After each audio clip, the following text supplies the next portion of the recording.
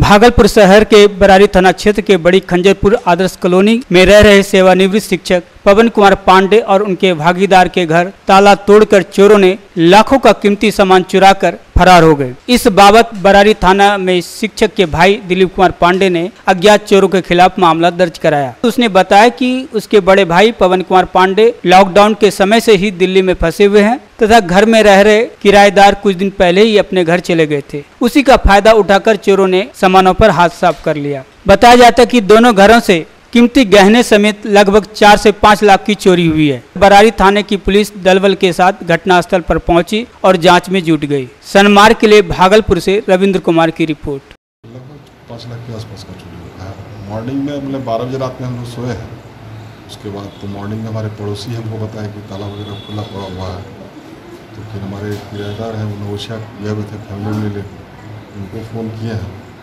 आधे घंटे वो लोग भी आ गए हैं। बाद पुलिस को भी फ़ोन किया है। ग्यारह बजे का समय दिया गया था। ग्यारह बजे तक आते हैं। अभी आपको टाइम हो गया साढ़े ग्यारह बजे अभी तक। कितने बजे आप सूचना दे पुलिस? करीब नौ बजे के आसपास। रात में करीब दस ग्यारह बजे तक तो सब सारा लॉक करके हम लोग थे रूम में। मॉर्निंग में पता चला है। सनमार्ग भागलपुर के वीडियोस देखने के लिए हमारे चैनल को सब्सक्राइब करें और नोटिफिकेशन पाने के लिए बेल आइकन को प्रेस करें।